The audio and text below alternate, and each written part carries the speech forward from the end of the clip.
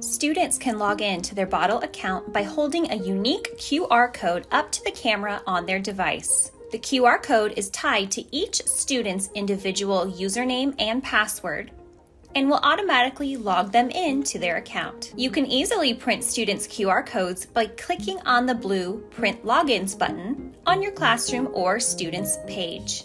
Once students have their unique QR code, they can sign in with it on the Boddle homepage.